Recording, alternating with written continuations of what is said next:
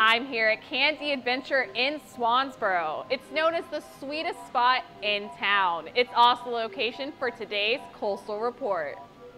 Masks are now optional for students at Carteret County Public Schools. The decision came as the county's positivity rate dropped below 5%.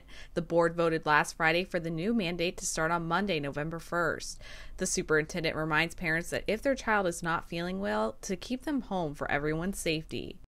Onslow County is seeing its lowest COVID case count since July. Health officials are reporting 482 active cases, bringing the daily average to about 30. Officials say COVID protocols must continue to keep numbers down as the holiday season approaches. As of Tuesday, 62% of Onslow County residents have received at least one dose of their COVID shots.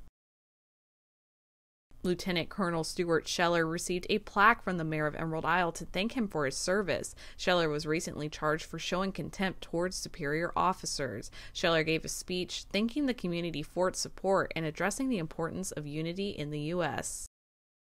Onslow County is introducing a new tool to help improve waste compaction.